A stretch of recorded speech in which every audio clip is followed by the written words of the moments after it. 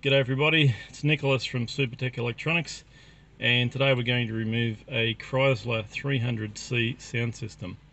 Now the tools you're going to need today are a plastic spudger and a Phillips head screwdriver. Uh, also a cloth just so that we don't damage or scratch any other part of the dash.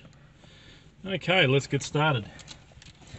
First section we're going to remove is this section here. Now you can spudger it out or you can get your fingers underneath and just pop it out. And then you can unplug that just like that and put that aside. Okay, now that we've got the front fascia off, we're going to remove the radio box next. Just four Phillips head screws. Okay, so now this section should pull out, which it does. And it will be connected by some electrical cables. Okay, so we're going to unplug connections here that hold the radio in.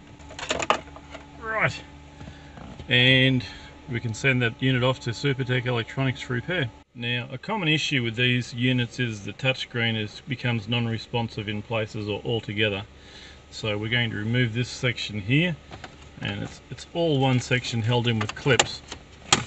So you unclip it, and that comes out as one piece. Now you can just take the screen out four screws and send that off to Supertech Electronics